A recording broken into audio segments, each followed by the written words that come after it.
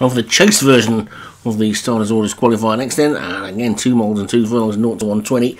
And at the top, Time and Eternity, Leon Van Rensburg, Cabo Valdamo, Darren Thompson, Amber Reef for Alex Cherry. One of those sometimes is now Obi-Wan. Scottsdale lad, Vinnie Gerard, Stuff Shot Obi-Wan. Operation Bluebell for Graham Clutterbuck. Rich D, Craig Beckwith. Safina De Niro for Paul Rhodes, Dante Martin Needham, and The Victim for Stu Gray. So 11 then in this.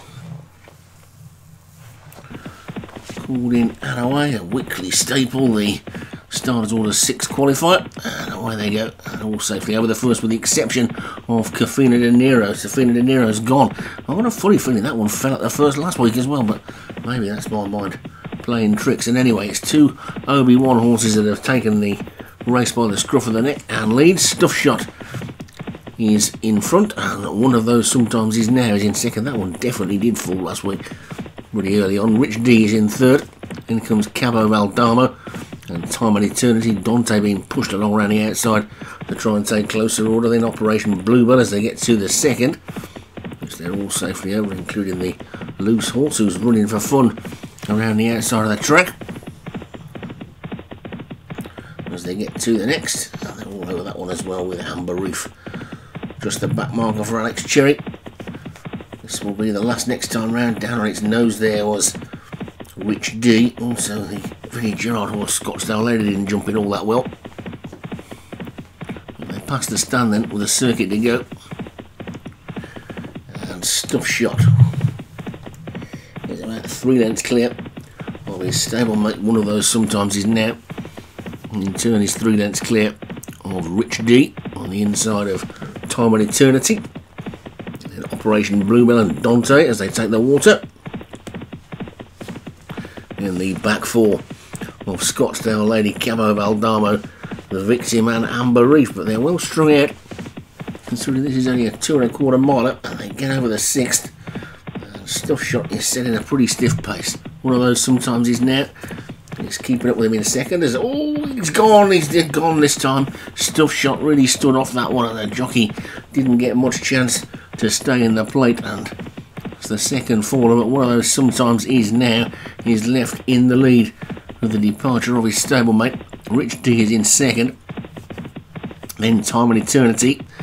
And Operation Bluebell, Scottsdale Ladies after that one, and then Cabo Valdamo on the outside of Dante, and then the victim, and finally Amber Reef being scrubbed along at the back. They're inside the final mile, one of those sometimes is now. Gets over this next one in the lead, jumped it well.